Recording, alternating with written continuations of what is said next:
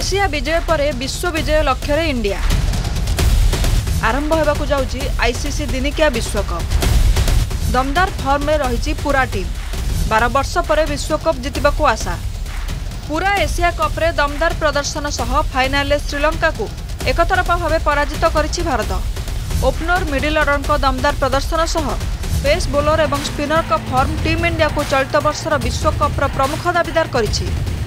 বিশ্বকপ পূর্বর Australia বিপক্ষ তিন match বিশিষ্ট একদিবসীয় সিরিজ এবং দুইটি অভ্যাস ম্যাচ খেলব ভারত হোমগ্রাউন্ডে মেগা ইভেন্ট হেউথিবার ফায়দা উঠাইপারে ভারত এশিয়া কপ প্রদর্শনকু দেখি বিশ্বকপ পাই ভারত দাবিদার থিবা নেই চর্চা দেখুন টিম ইন্ডিয়া বহুত ভাল করেছে এশিয়া কপে কারণ বহুত পরীক্ষা নিরীক্ষা আমি করে বিগত কিছুদিন ধর মতো লাগুছি গোটিয়ে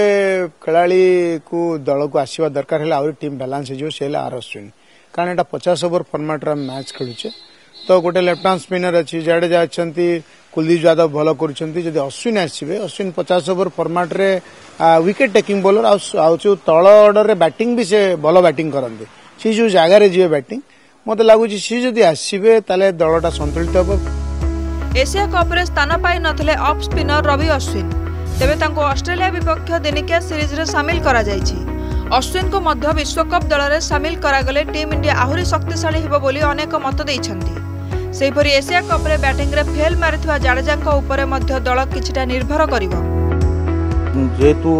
ଇଣ୍ଡିଆରେ ହେଉଛି ଇଣ୍ଡିଆକୁ ଫେଭର କରିବ ଇଣ୍ଡିଆର ସ୍ପିନର ମାନେ ହିଁ ଇଣ୍ଡିଆର ମେନ୍ ଷ୍ଟ୍ରଙ୍ଗ ବୋଲିଂ ଆଟାକରେ ରହିବେ